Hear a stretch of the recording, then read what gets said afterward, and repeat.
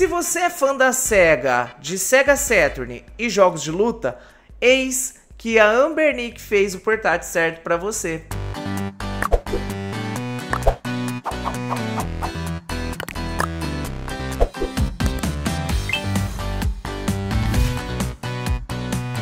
E aí pessoal, beleza? Aqui é o Luquita, seja bem-vindo ao Pocket Hype. Saiu o vídeo dos novos portáteis da Ambernic RG Arc D e Ambernic RG Arc S.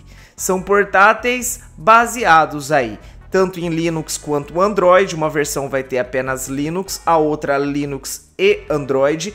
E é baseado no controle do Sega Saturn. Então, se você curte a Sega, se você teve um Sega Saturn na infância esse aparelho vai falar diretamente com você. Além de tudo, é nitidamente um aparelho voltado para jogos de luta. A gente vai dar uma conferida no vídeo, mas antes deixa aquele joinha que fortalece o nosso conteúdo e se inscreva aqui no canal. Eu já gostei bastante do cinza. Remete à cor original do Sega Saturn. Gostei bastante do direcional de pad aí parece ser bem confortável, os botões assim ressaltados da forma que eu gosto, tem seis botões aqui, então para jogo de luta vai ser algo bem legal. Não sou tão fã de controles da Sega, mas o que todo mundo diz é que o controle do Sega Saturn é um dos melhores para jogos de luta. Essa cor aqui provavelmente é a cor que eu pegaria, achei realmente muito bonito. Preto também tá legal, remete bastante aí também ao controle do Mega Drive. Eu sei que o controle do Sega Saturn é uma evolução, mas se você é fã de Mega, não tem como não pegar esse controle preto, porque realmente tá bem bonitão. Aqui nós temos também o preto transparente. É importante falar para vocês que uma das versões vai ter Android com tela de toque, a outra com certeza é a, é a versão mais barata onde você vai ter apenas o Linux e a tela não é de toque. Aqui a gente está vendo rodando jogos Android, Tartarugas Ninja, Street of Rage 4, rodando PSP, acredito eu. Acho que é Dreamcast, PS1.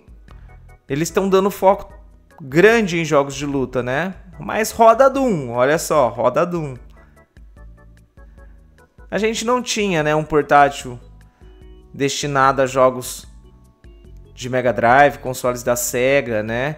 Ótimo aí também para jogos arcade. Eu gostei bastante. Acho que a Ambernic acertou muito fazer um aparelho aí específico. A gente já tem bastante aparelho que faz de tudo, né? Então, acho legal focar em um nicho específico. E esse aqui é basicamente um portátil de nicho. Não é todo mundo que vai curtir. Eu tenho certeza. No, nos comentários a gente vai ver isso aqui. Tem muita gente que vai falar não gostei. Por quê? Porque é um controle para nicho. E qual é o nicho desse controle? Quem gosta da Sega, quem gosta de jogos de luta, teve um Sega Saturn no passado e gostava do controle. É essa galera que vai comprar. Ele parece ter uma pegada bem bacana, né? Não parece, não aparenta ser um controle desconfortável. Então é isso aí, duas versões, Ambernic RG Arc D e Ambernic RG Arc S. E para ficar claro, o Arc D é Dual OS, é Dual Boot. Então ele vai vir com Android 11 e Linux. Ele conta com 2 GB de RAM, cartão de 16 GB para o software e 32 GB para os jogos, multi-toque ele conta com um RK3566, então assim, não espere rodar PS2 nesse chipset. Quad-core, né? Cortex A55, Bluetooth e Wi-Fi. Então vai dar para você conectar um controle nele e essa versão aqui com Wi-Fi você vai conseguir jogar jogos Android que tem conexão, né? Que seja online. Já o Arc S ele é single OS, ele vai vir só com Linux.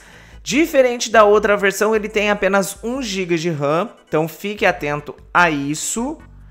que mais? Ele não é multitoque, o mesmo processador RK3566 também conta com Bluetooth e Wi-Fi apenas para parear dois aparelhos para poder jogar de dois multiplayer. Agora eu fiquei um pouco confuso em relação às cores. Será que não vai sair essas cores transparentes para o Arc D? Aí é mancada, hein? Aí é mancada. Será que o Arc D só vai ter essas duas cores e o Arc S só essas duas transparentes? É, vamos esperar para ver, mas se for isso, eu acho que é um tiro no pé. Eu acho que seria melhor então a Ambernick deixar pelo menos uma cor só para quem pegar o Arc D. Acho mancada demais se ela separar por cores aí os modelos, porque tanto um modelo quanto o outro tem cores bem legais, bem bonitas que o pessoal com certeza também vai ficar em dúvida assim como eu. Mas eu acho que eu pegaria mesmo o cinza. Então deixa aqui para mim nos comentários o que você achou dos novos portáteis da Ambernic. Você compraria um portátil destinada a um nicho de jogos de luta e amantes da SEGA, eu vou ficando por aqui. Deixa aquele joinha que fortalece muito o nosso conteúdo e se inscreva aqui no canal. Eu sou o Luquita, esse é o Pocket Hype e a gente se vê numa próxima. Valeu!